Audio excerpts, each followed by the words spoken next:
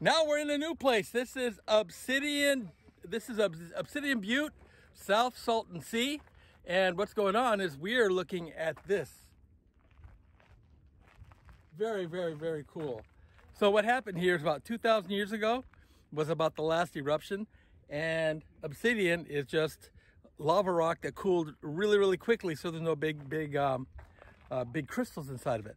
And if you look at this obsidian, you can actually see there are seashells. Diatomaceous earth. Very, very cool. So we're out on an uh, adventure, having fun, and loving it.